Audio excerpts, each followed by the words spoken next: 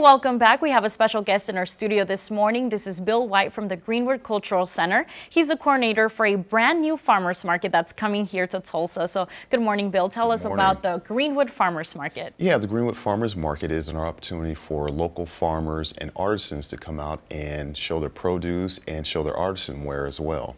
And why did the Greenwood Cultural Center decide to host a farmers market? Well, as you kind of know, downtown in North Tulsa has, I guess for lack of a better word, um, uh, a desert, food desert. Mm -hmm. And we figured that it would be one opportunity to draw more people to the Greenwood District downtown, as well as be able to have that, uh, what I call the Black Wall Street experience, where they're able to sell their, their food, as well as some of their artisan wear as well. Right, and how many vendors do you have so far, and what can we expect to see? Yeah, so far we have about 15 vendors, uh, and you have a combination of, uh, of things that's pepper, kale, uh, someone's going to bring some uh, ginger. Someone's going to bring some garlic. Um, we have other people are bringing beans.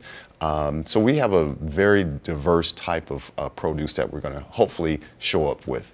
All right, and I know that you're partnering with the American Heart Association. Um, tell me about those partnerships that you yeah. have. American Heart Association, they're going to provide some uh, nurses that will be there to take uh, people's blood, draw a little bit of blood, give them a sample of their blood to see exactly if they're high, having high blood pressure. We're also partnering with the, the, uh, the gathering place as well. They're going to have cooking demonstrations, uh, as well as um, uh, community health uh, empowerment incorporated, and they're going to do things as making sure people know the growing season as well. So it's also to inform the public, right, on how to stay healthy and lead a healthy lifestyle as it, well. It really is, and that's the whole thing. We know that a lot of people want to get fresh fruits and, and vegetables, hopefully, but there's not a lot of options for people in the area, so we want to make sure that they have that opportunity to do that. All right, thank you so much, Bill, for being with us. And really quickly, so the Greenwood Farmers Market starts next weekend on the first uh, of every Saturday, or actually it's going to be the whole month of September, every Saturday from 9 a.m. to 12 p.m. at the Greenwood Cultural Center parking lot and that is right next to OSU's campus. That's correct.